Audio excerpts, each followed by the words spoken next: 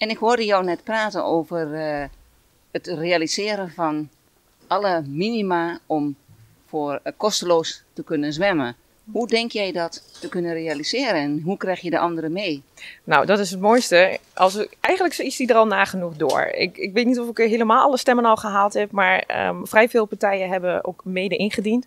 Lokaal Almelo samen, D66, Leven Almelo, Partij van de Arbeid. Um, en ik vergeet er vast één, maar Mia Culpa. Maar, dus het is al redelijk breed gedragen.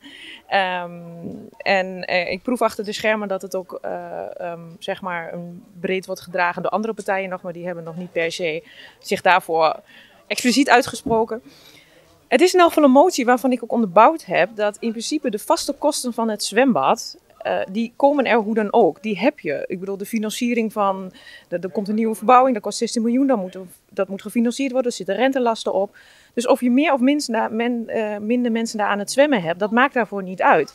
Of ik drie mensen in mijn huis heb of zes mensen, mijn hypotheek blijft hetzelfde bedrag, zeg maar, mijn hypotheekrente. Nou, dus in die zin vind ik het dus dat het kost dus in principe de gemeente Almelo hooguit wat variabele kosten. En ik heb dus ook aangegeven, want dat was wel een verzoek van een aantal partijen, laten we dat dan eerst even in kaart brengen. Dus voorlopig heb ik even een stapje terug gedaan, uh, zodat iedereen ook mee is.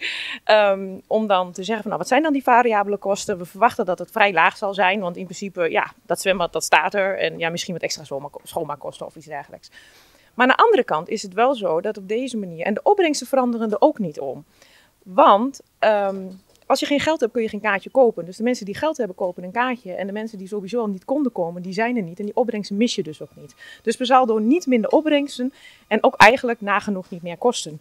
Alleen wel um, een brede gebruik van het zwembad, doordat het ook toegankelijk is voor de minima. En ik heb ook aangegeven dat het juist belangrijk is, want kinderen moeten kunnen zwemmen, bewegen, moeten kunnen meedoen met hun vriendjes die wel, waarvan de ouders wel het kaartje kunnen betalen naar het zwembad. Zij moeten niet uitgesloten worden. En dit werd dus inderdaad ook wel breed erkend.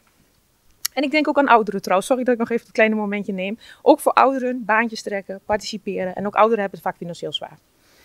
Dankjewel. En uh, mag ik daar nog even uh, iets uh, gedetailleerd op ingaan? Denk je daarbij ook aan de zwemlessen voor de kinderen? De zwemlessen ben ik nog niet op. Ik heb het puur gehad over de toegang. En het is met name ontstaan in de zomer, waarvan je toch zag dat er uh, ja, eigenlijk mensen nergens naartoe konden.